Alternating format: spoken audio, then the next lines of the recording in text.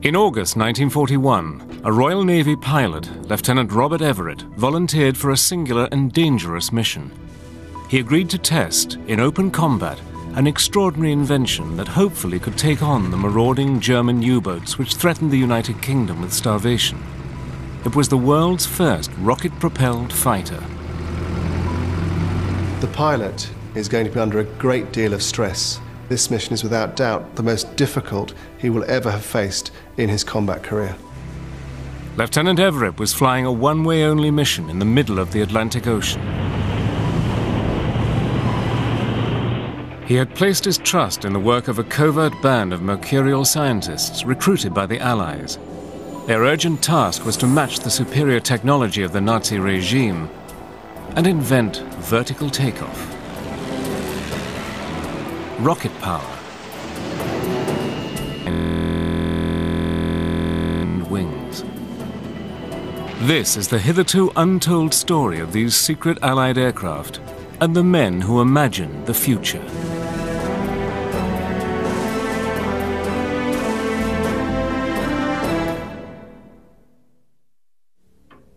In the summer of 1940, the Prime Minister, Winston Churchill, was confronted by a new and serious crisis. Nazi Germany had unleashed a formidable weapon against the convoys bringing food from America to the beleaguered people of Britain. It was the Focke-Wulf Condor, the first military aircraft capable of flying within range of the United States eastern seaboard. Churchill called the Condor the scourge of the Atlantic. The Condors wrought havoc and destruction on a massive scale. In a matter of months, they sank nearly one million tons of Allied shipping. Condor crews were the elite of the Luftwaffe. They mounted daring bombing raids at low altitudes.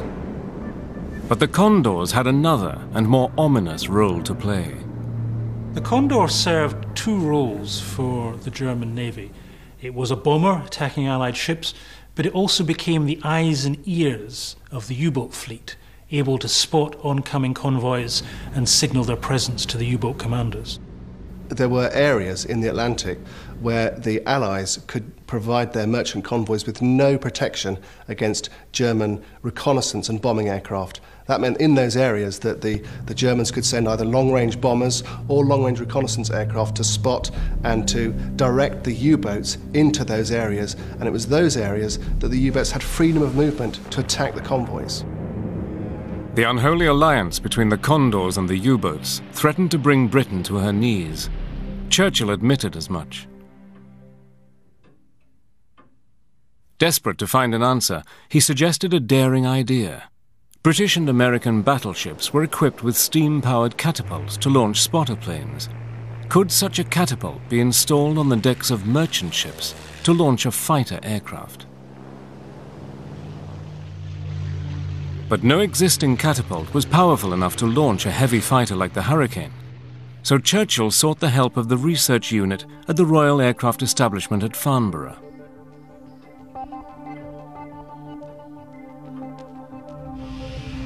Within a week, the scientists responded.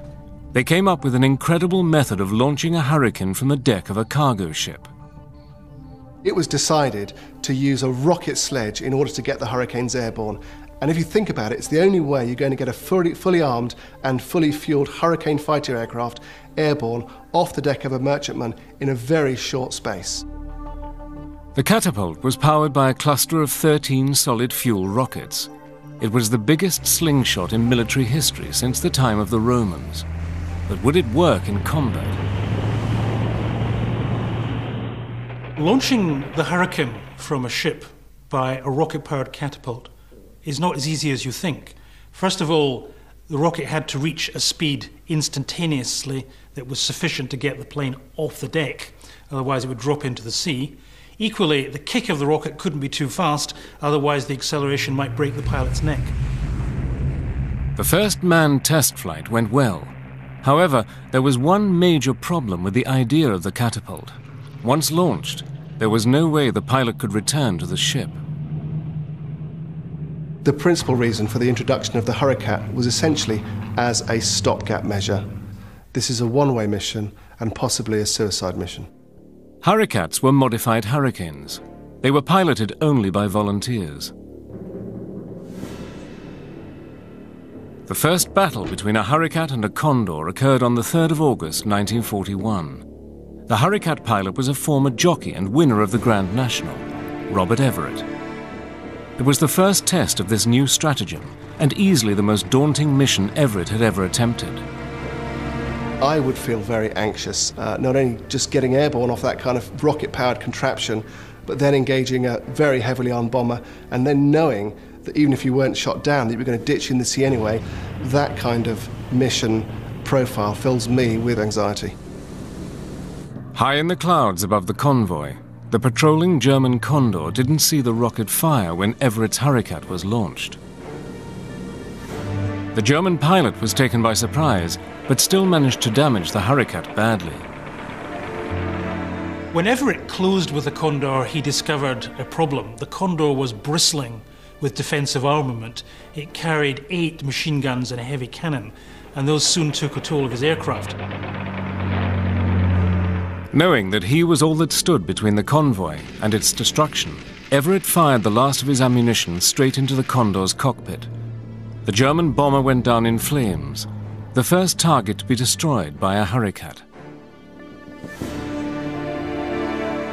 But Everett wasn't out of danger.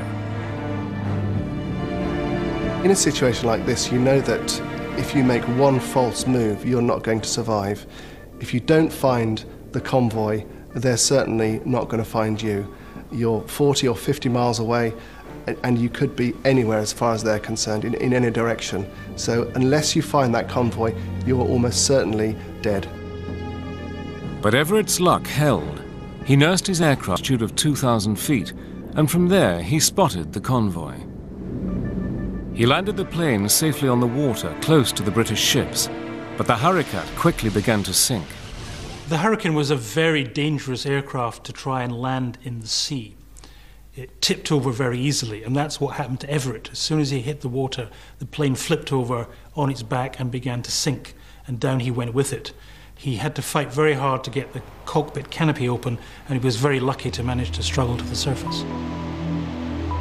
For shooting down the Condor, Robert Everett was awarded the Distinguished Service Order by King George VI. He was killed the following year while on active service. But the Hurricats had turned the tide of battle against the Condors. I think the principal success of the Hurricats was the deterrent effect it had on German reconnaissance aircraft, in that after they were intercepted and after the first one was shot down, the Germans were less and less inclined to uh, press home attacks or reconnaissance missions against convoys. Meanwhile, on the other side of the Atlantic, an engineer's visionary imagination was taking flight.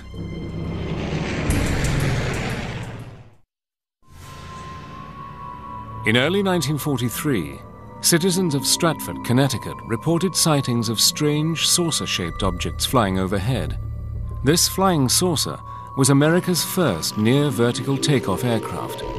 It was hoped it would prove the answer to the problem of providing ships at sea with fighter cover. Nicknamed the Flying Flapjack, it was the brainchild of an eccentric genius called Charles H. Zimmerman.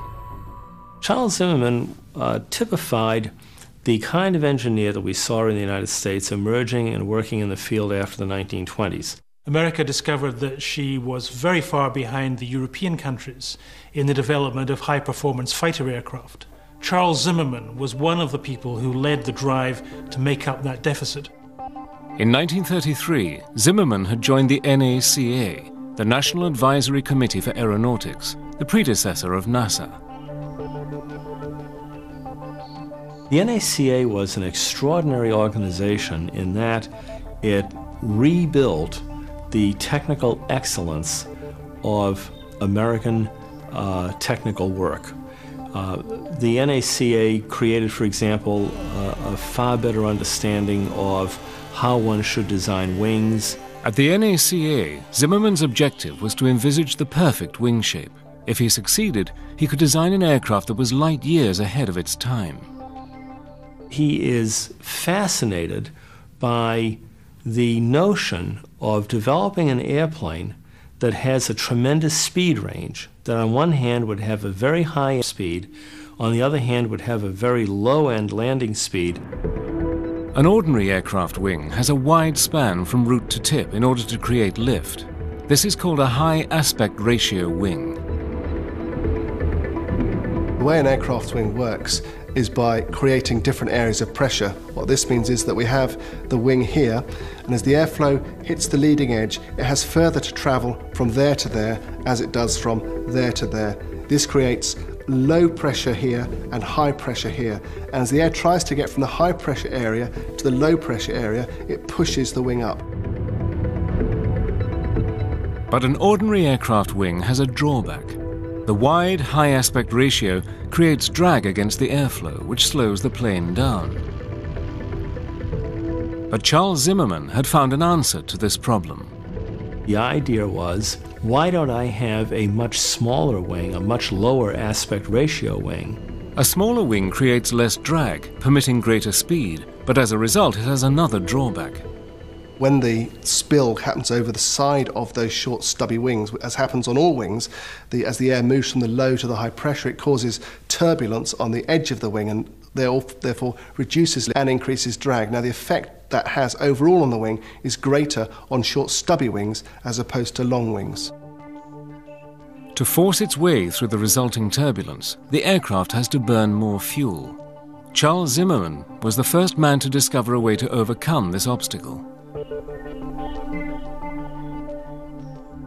Zimmerman's solution to the problem was breathtakingly simple.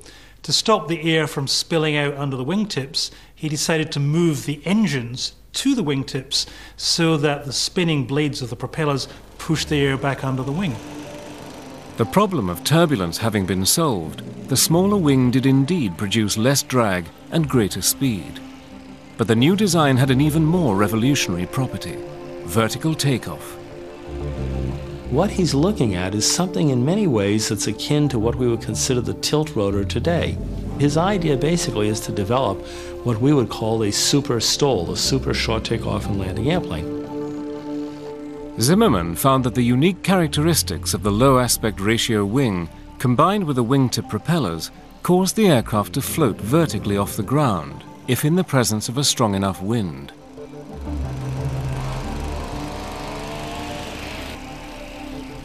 In 1939, as war clouds gathered over Europe and the Pacific, the US Navy ordered a prototype fighter based on Zimmerman's revolutionary concept. It was named the V-173. It had a wingspan of only 23 feet, tiny by today's standards. To save time on the test design, a fixed undercarriage was utilized. The long legs set the aircraft at the steepest angle to ensure immediate near vertical takeoff. The cockpit extended around into the undercarriage to provide a wider view of the ground, like that of a helicopter.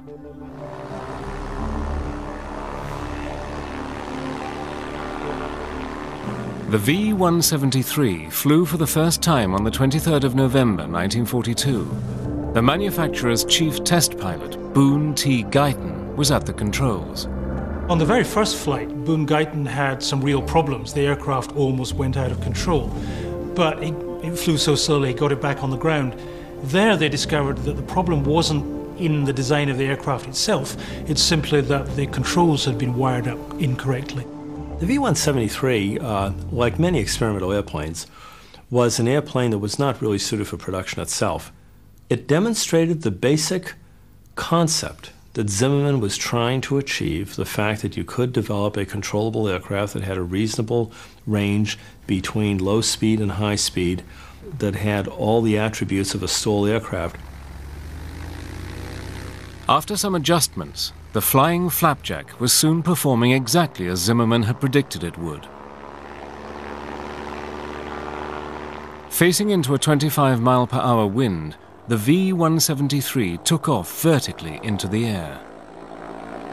The V-173 was an aircraft that was a challenge to fly, but having accepted its uh, limitations, the pilots who flew it were really quite astounded by the high degree of control effectiveness they did have over this configuration.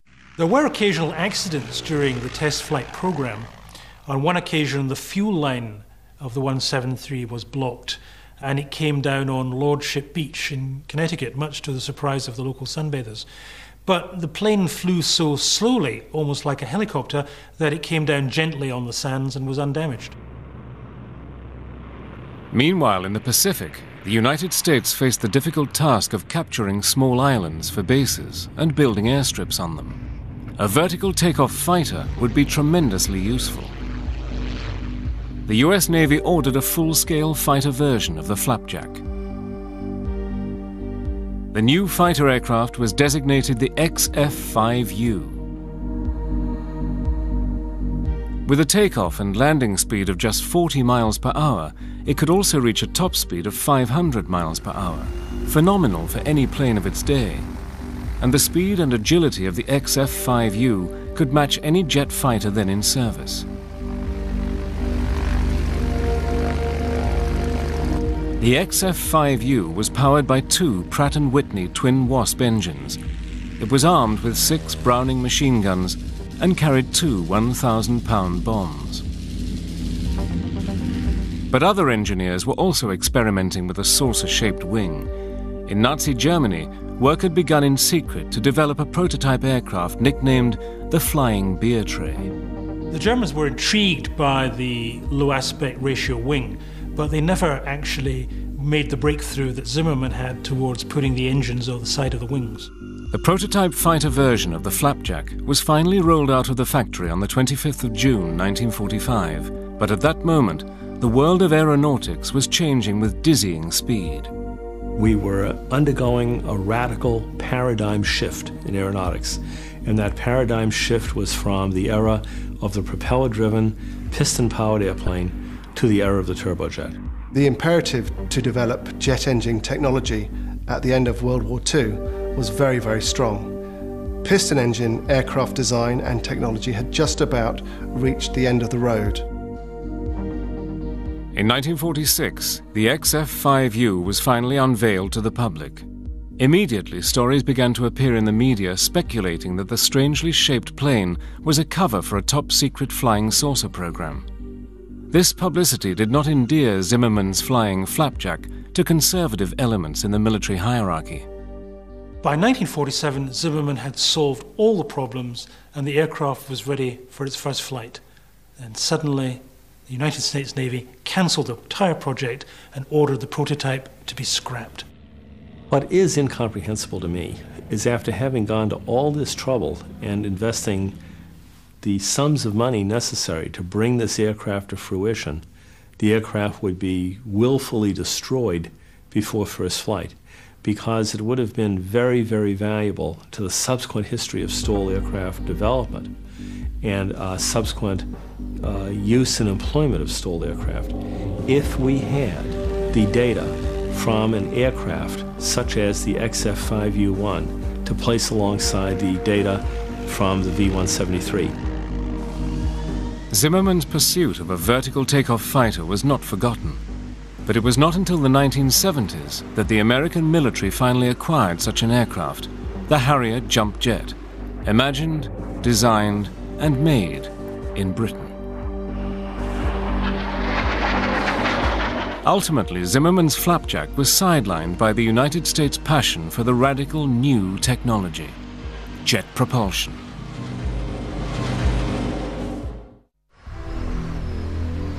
In August 1939, two weeks before the Germans invaded Poland, an important visitor landed in America to see a special demonstration of the latest US military aeroplanes.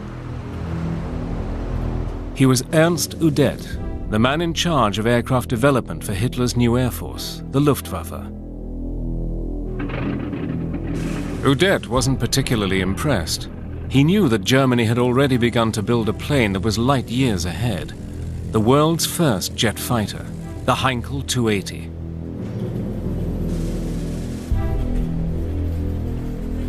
The story of the United States and the jet engine is a story of acute national embarrassment.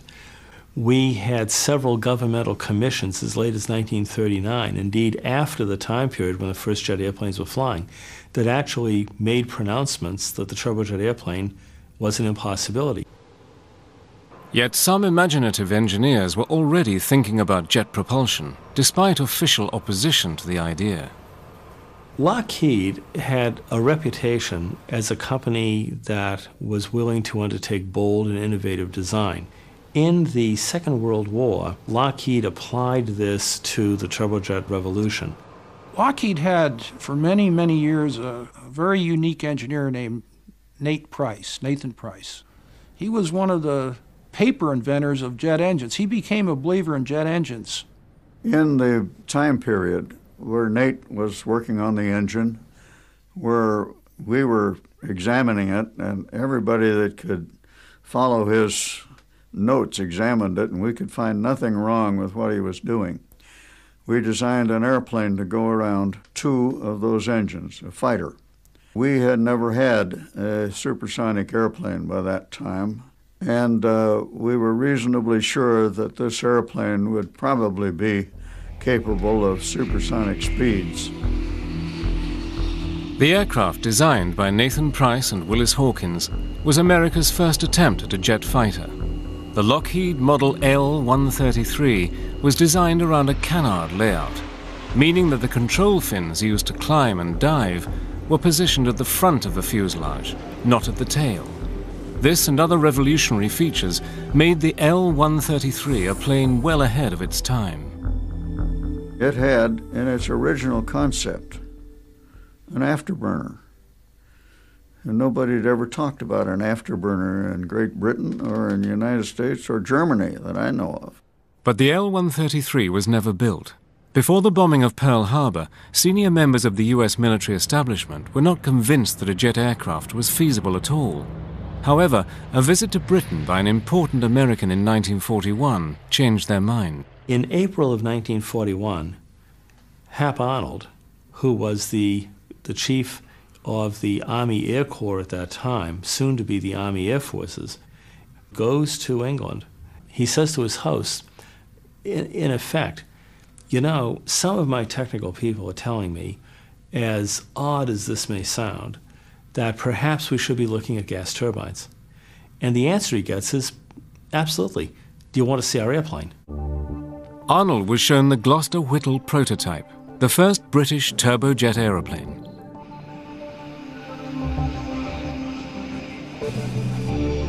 He was astonished. Having ignored Nathan Price and Willis Hawkins, America was now years behind the game. Arnold made an immediate decision. He would seek out America's ignored geniuses and offer them lucrative research contracts and restore America to the cutting edge of aviation technology.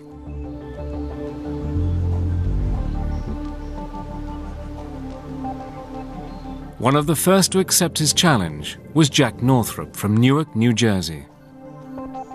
Jack Northrop is an absolutely extraordinary individual. Uh, if you looked at the individuals who transformed American aviation in the 1920s and 30s, and you considered all the engineers and all the scientists, you would have to recognize that the designer and industrialist who did the most to make this transformation a reality was Jack Northrop. Like Charles Zimmerman, Northrop could see the design flaws of conventional planes. He questioned the employment of a heavy fuselage. Why not, for long range missions, simply design a flying wing, saving both weight and fuel? Northrop presented Hap Arnold with a design for a flying wing bomber that could travel non stop from the eastern seaboard of the United States to Berlin, a round trip of 6,000 miles. Arnold immediately ordered a prototype to be called the N 9. These were the days before computers, and no one had yet designed a flying wing that was stable in flight. Jack Northrop had the answer. He attached simple slats to the leading edge of the wing. If the plane flipped over, the slats deployed automatically to restore its balance. Ground tests of the N9 began on the 20th of December 1942, a year after Pearl Harbor. The first test flight took place in the Mojave Desert on the 27th of December. Northrop's flying wing was a great success. He now approached Hap Arnold with another radical idea was to fit the N9 with a rocket motor to make it capable of taking on the new German jets. The first new prototypes revealed yet another dazzling Northrop innovation. Like the Wright Flyer, the pilot lay on his stomach, controlling this aircraft to give it absolutely minimal frontal profile. On the 5th of July 1944, America's first manned rocket plane, the XP-79A, made its maiden flight. Now, Northrop had wanted to power this aircraft with a very exotic rocket engine called the Rotojet. But the Rotojet was so incredibly dangerous, and its development was so torturous that instead the decision was reached to power it with two Westinghouse jet engines. The Army called this version the XP-79B. Employing another revolutionary idea, it would behave like a flying chainsaw. The XB-79, sometimes called the Flying Ram, was an airplane that was armored with four 50 caliber machine guns, and it also had reinforced leading edges on its wing because it was hoped that it could actually ram and survive a ramming of an enemy aircraft, typically an enemy bomber. By September 1944, it had become clear the construction of the new jet engine was behind schedule. So the Army decided to cancel Jack Northrop's revolutionary fighter. But the engineer was convinced his flying wing was the way of the future and continued to work on the project using his own money.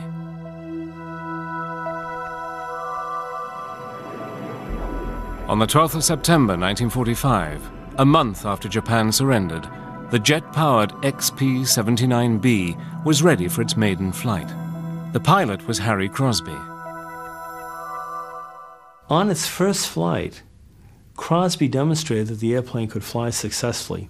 And then, unfortunately, toward the end of that flight, he had a flight control problem caused by an air inlet valve on one wing not functioning properly. The airplane went out of control. Crosby was unable to escape it and was killed in the ensuing crash. With the destruction of the sole XP 79, Jack Northrop abandoned the fighter project and concentrated instead on his flying wing bomber. What we see with the Northrop Flying Wing is a vehicle that's ahead of its time. It's Imagineering at its very, very best. Unfortunately, the technology you needed to make it a success, the flight control technology primarily, was simply not available at that time. While Northrop was experimenting with his radical flying wing, Hap Arnold remembered Lockheed's early studies in jet propulsion with the L 133. The United States had to get a move on to build an American jet fighter capable of taking on the Germans. Lockheed was the obvious choice.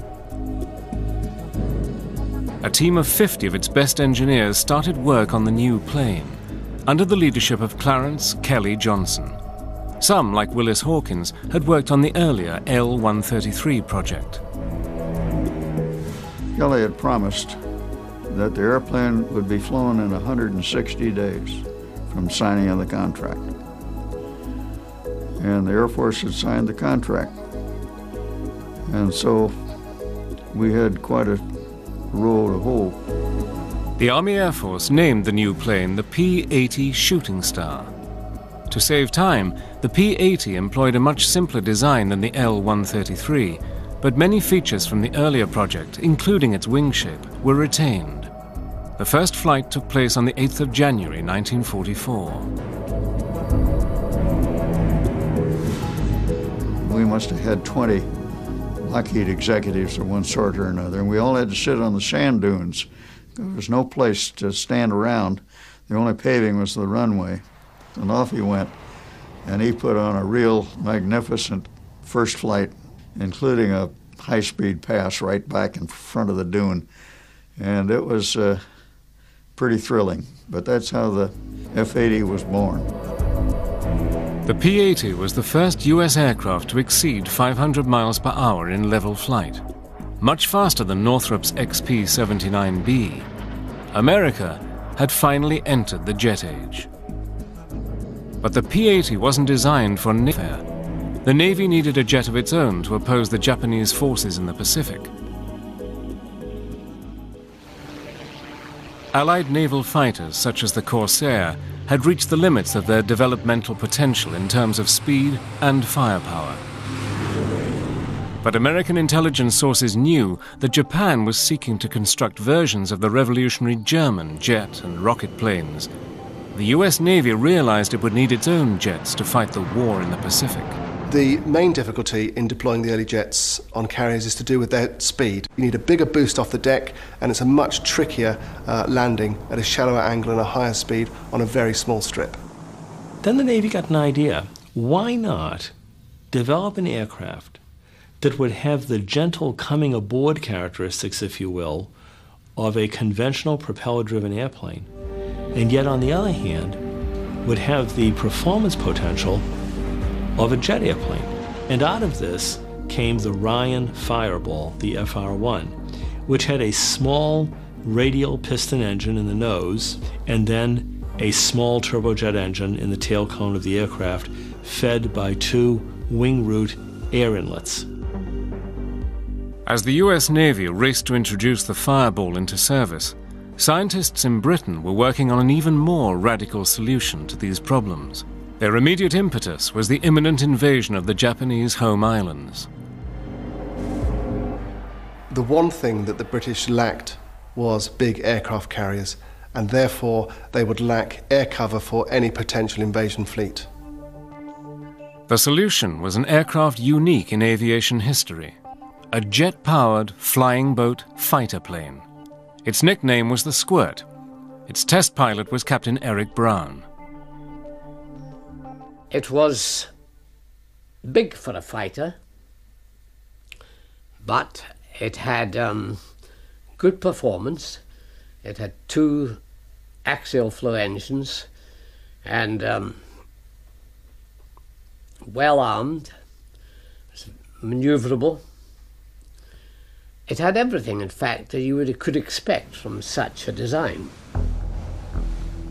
Despite its bulbous, unaerodynamic shape, the Squirt could reach speeds of over 500 miles an hour. And because it didn't need a heavy undercarriage or complicated landing gear, it was highly maneuverable in the air. Nevertheless, taking off and landing on water was hazardous. It was a very pleasant aircraft to fly, but I had a, a, a problem occur on landing.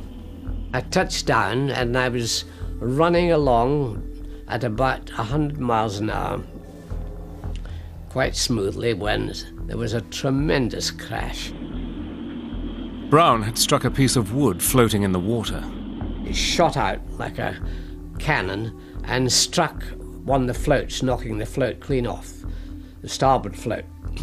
and the aircraft cartwheeled over. The cockpit, of course, side down in the water at this stage. The pilot was fortunate to escape the sinking plane. I got out of it all right. And uh, when we looked at the hull after, we found that a hole about four feet square had been cut in the hull by this mast. Hidden among palm trees in the Pacific Lagoon, the Squirt could swoop up into the air to escort attacking Allied bombers or defend invasion craft from Japanese jets. I would say it was a sound concept, and if the Japanese or the Far Eastern War hadn't concluded when it did, I think it had been a very useful adjunct to our forces there. But the American Fireball and the British Squirt were both overtaken by rapidly advancing technology. In late 1945, a pure jet fighter successfully landed on an aircraft carrier for the first time. It was flown by the Squirt's test pilot, Eric Brown. However, the plans for an invasion of Japan called for a lot more than new jet fighter aircraft. To attempt to win a war in the air over intercontinental distances, Allied scientists made a technological leap that still defies the imagination. It was the biggest man made machine ever devised, and it was made out of ice.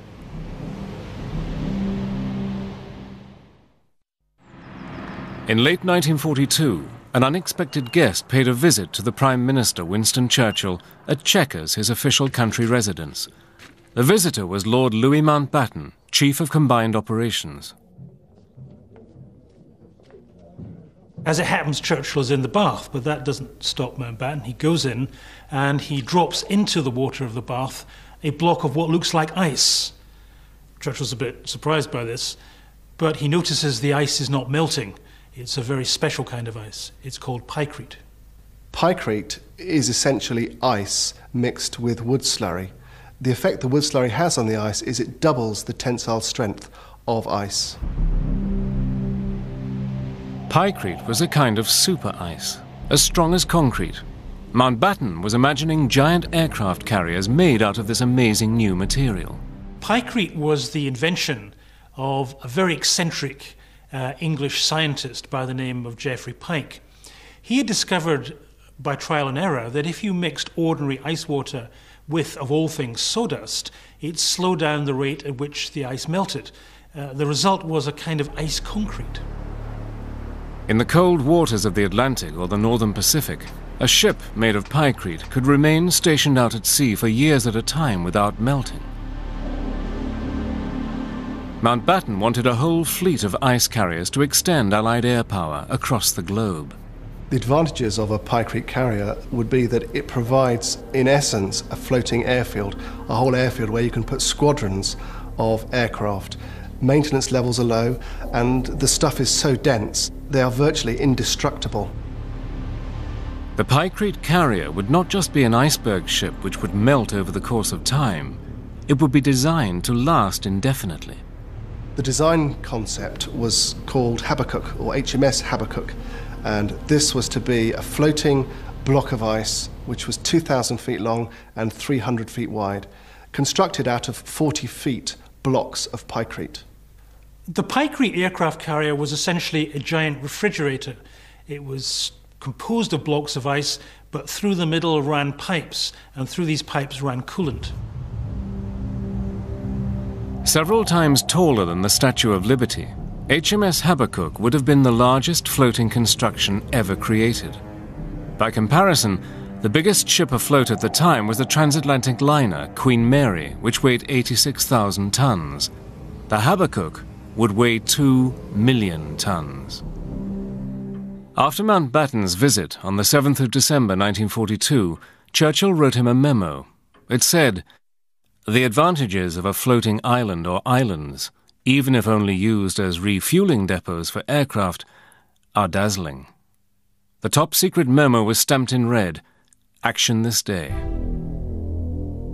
A lot of American assistance would be required to undertake this vast construction project. In August 1943, senior Allied commanders met at the Chateau Frontenac Hotel in Quebec, Canada where Mountbatten intended to sell his vision of using pykrete to Fleet Admiral Ernest King, Chief of the U.S. Navy. During one session of the Frontenac Conference, Mountbatten brings in two blocks of ice. One is ordinary ice, the other is pykrete. Suddenly, Mountbatten takes out his revolver and he fires into the ordinary ice, which just kind of splinters. Everyone is completely confused by what Mountbatten is up to. And he takes his revolver and he fires at the pykrete, which is so strong, of course, that the bullet bounces off. In fact, it ricochets into Admiral King and, and nicks his leg. Fortunately, Admiral King wasn't fazed. He even seemed impressed by this unorthodox pitch of a weird idea. The Americans agreed to help build a prototype of HMS Habakkuk. Steaming down from the Aleutian Islands, a fleet of Habakkuks could launch both fighters and giant B 29 bombers against Japan. Building HMS Habakkuk and her sister ships would negate the need to capture Japanese held Pacific Islands for use as Allied air bases. And tens of thousands of Allied soldiers could be spared the grim ordeal of jungle warfare. But the ice ships were never launched. The money and resources needed to build them were diverted to other projects. The project was eventually cancelled for a number of reasons. I think the first of which was because the war was at that stage being won by more conventional methods. A lot of conventional aircraft were coming on stream, uh, and so the tide was turning against Germany and also against Japan. By the time the prototype of the Pykrete aircraft carrier was ready, the war had moved on. America was already building the atomic bomb, it had already started to build large numbers of new aircraft carriers. In effect, time had run out for Pykrete.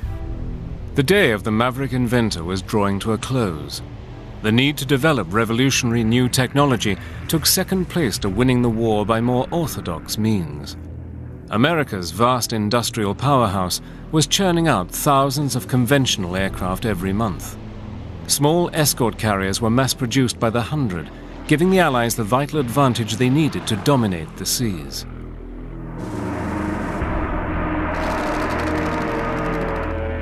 But the ice ships, although never launched, have not been forgotten.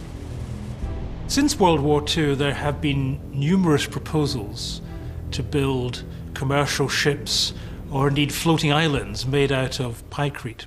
The latest idea is to build such an island that would house what would be an independent community, free of other governments in the world and uh, free of any kind of taxation. The Second World War saw the birth of a whole panoply of radical new technological advances. In the frenzy of innovation, not all projects made it to completion. Some failed through lack of support or resources, some because of technical limitations, and some were simply too far ahead of their time. Many of these secret Allied aircraft projects didn't make it into combat, but that's not the point. They were the products of uh, great minds willing to think outside the obvious, and that's what creates the spirit of progress. These are individuals that are facing real world crises and challenges. When you understand what they were trying to do, sometimes these design choices, as flawed or as odd or as weird as they may be, uh, start to make a lot better sense. And it is very surprising sometimes when you see how these return in very dramatic form many years later in much more successful fashion. Charles Zimmerman's original flying flapjack didn't actually ever take off, but his dream of vertical takeoff technology has inspired aircraft designers ever since. When you take a look at the tilt rotor that you see today with the V 22 or the XV 15 that preceded it, these are really the technical heirs of the kind of approach and work that we first saw undertaken by Charlie Zimmerman with the V 173. Another Second World War genius who lived to defy the odds was Jack Northrop. After 1945, he attempted to build more fantastic aeroplanes for the military, including the XB 35 Flying Wing Bomber, originally intended to bomb Berlin. But the powers that be remained skeptical of flying wings that were difficult to control without the benefit of yet to be developed computer technology. After World War II, uh, Northrop built a large flying wing bomber and this proved very successful. Yet again, though, it was too radical for the military, so it was never put into production. Uh, and that cost Northrop a lot of money. As a result, he lost control of his company. However, Jack Northrop was finally vindicated. Before he died, he was taken to where Northrop was working on the B 2, and he looked at the assembled uh, individuals there who in, included a galaxy of Northrop designers and engineering personnel, and he said, Now I know why God has let me live so long. Northrop's Second World War flying wing was the forerunner of the B 2 Spirit stealth bomber, which flies over the Mojave Desert today, just as its predecessor did when it first ventured into the sky. The B 2 will still be in service on the 100th anniversary of the legendary XP 79. In the end, Jack Northrop and his fellow designers established one thing beyond doubt genius is still the ultimate weapon.